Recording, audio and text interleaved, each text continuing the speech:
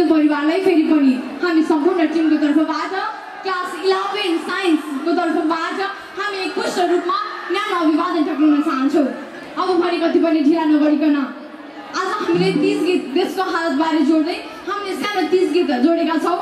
सबैजनाले ध्यान दिएर सुनिदिनु होला आफू पनि नाच्दै हामी हाम्रो नाचेको पनि हेर्दै रमाइलो गर्दै बसिदिनु हुन भन्दा विनम्र अनुरोध साथ